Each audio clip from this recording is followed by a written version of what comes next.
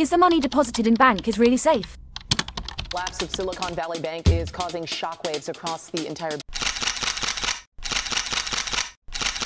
As of this morning, Silicon Valley Bank, or SVB, has gone under completely. The second biggest bank collapse in U.S. Bank history. can only keep 10 to 20% of amount received and give remaining amount as loan. Let us say Alan puts $10,000 in a bank. Bank keeps 10% in deposit and can give 90% loan to its customers. After the money received from Bob, house company deposit $9,000 to bank. Cycle continues. $10,000 has become 100,000 in the system, 10 times.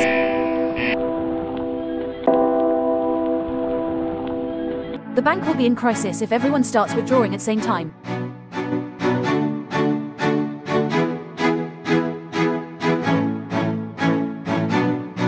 Same dominoes effect happened in 2008 during financial crisis.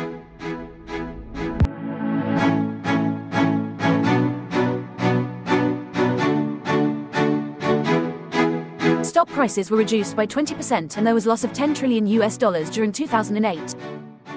Let us see what happened with SVB is Bank. the epicenter of tech startups, venture capital. Startups could not raise funds, SVB could not generate cash flow, leading to customers started withdrawing money at the same time.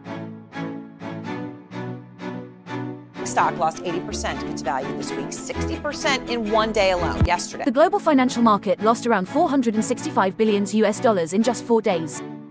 Behind me is customers of Silicon Valley Bank lined up to make sure that they can get their money. The difference this time is that government has interfered to prevent this dominoes effect.